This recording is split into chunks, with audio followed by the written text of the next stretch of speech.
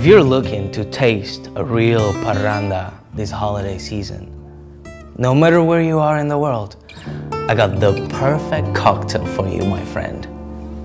Vegan Coquito. It's so easy to make. Just add the coconut milk, the cream, the sweetened condensed milk, 3 quarter cup of white rum, a quarter teaspoon of ground nutmeg, a half teaspoon of ground cinnamon, and 1 teaspoon of vanilla.